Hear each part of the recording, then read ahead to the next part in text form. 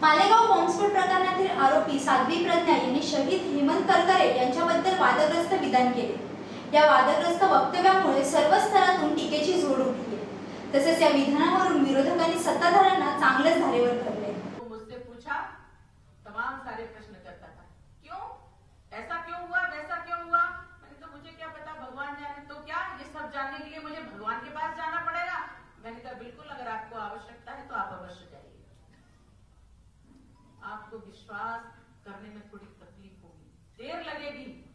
मैंने कहा, तेरा सर्वनाश होगा।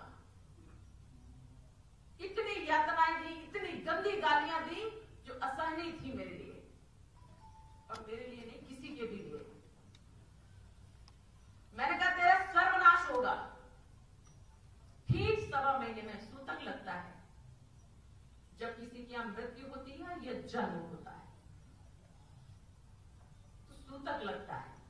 तो जिस दिन मैं गई थी उस दिन इसके सूतक लग गया और ठीक सवा महीने में जिस दिन इसको आतंकवादियों ने मारा, उस दिन सूतक का अंत हो गया।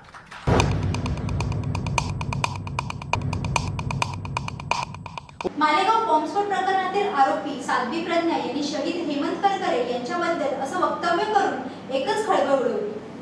सर्व स्तरातून टीकेची झोड उठली. त्यांच्या या संतापजनक वक्तव्यानंतर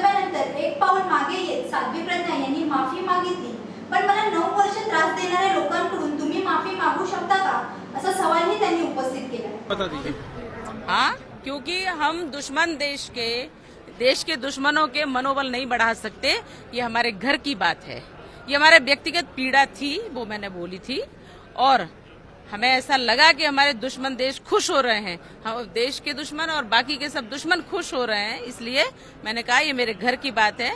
घर में अगर किसी प्रकार की पीड़ा होती है तो हम अपने घर में निपट लेते हैं।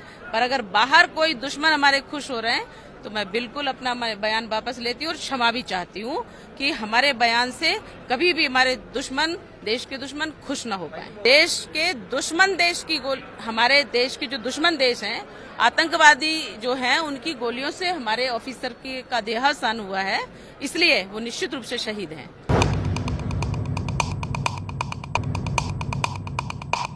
मी कारागृहात असताना माझा अतोनात छळ झाला. एटीएस प्रमुख हेमंत करकरे यांच्या आदेशावरून माझा छळ करण्यात आला असा आरोप त्यांनी केला. मात्र हे सर्व आरोप खोटे असल्याचा खुलासा मानव हक्क आयोगाने केलाय. तसेच दोन हजार दहा मध्ये मुंबई उच्च न्यायालयाने या प्रकरणात प्रकाश टाकला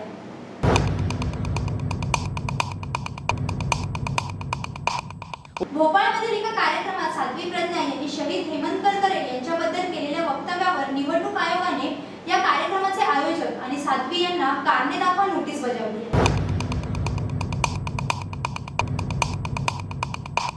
साध्वी प्रज्ञा यांच्या समर्थनार्थ मोदी सरकार पुढे सरसावले आहे. तसेच साध्वी यांना खोट्या अडकवले जात असल्याचंही अमित यांनी म्हटलंय. जहाँ तक साध्वी प्रज्ञा का सवाल है, एक फर्जी केस बनाया गया था, हिंदू टेरर के नाम से, भगवा टेरर के नाम से, दुनिया भर में भारत की संस्कृति को बदनाम करने का प्रयास किया गया था। जब कोर्ट की अदालतों में अदालतों में केस चला, इसको फर्जी पाया गया, दो केस के अंदर सब बरी हो गए। सवाल तो वो है कि समझौता ब्लास्ट में स्वामी असीमानंद और बाकी सारे लोगों को एक्यूज बनाकर फर्जी केस रजिस्टर किया तो समझौता ब्लास्ट करने वाले लोग कहाँ हैं? जो पहले पकड़े गए थे, वो एक्यूज को किसने छोड़ा? जिन्होंने पहले पकड़े हुए सच्चे एक्यूज को छोड़ा है वो टेररिज्म का सपोर्ट करने वाले लोग हैं। हम नहीं हैं। देश की जनता जानना चाहती है।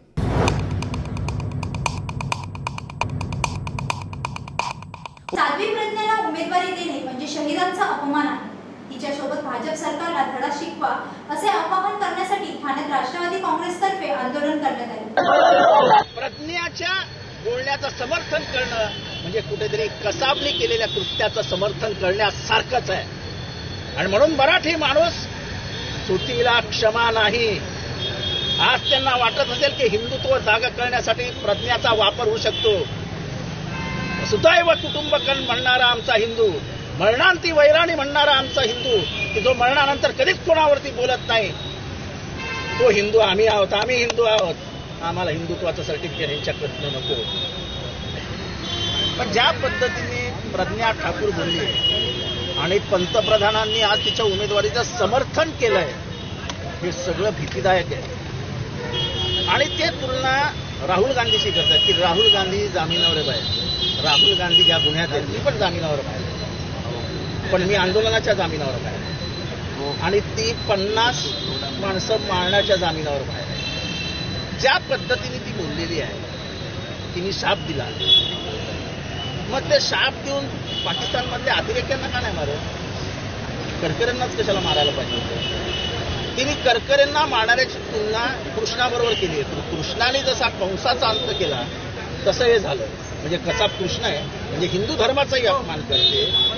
आणि खास करून हा जनरल वैद्यांचा पुतळा आहे. जेव्हा अतिरेकी चळवळ वाढीला लागली त्या व्याज जनरल वैद्यांच्या नेतृत्वाखाली सुवर्ण मंदिरात सैन्य गेलं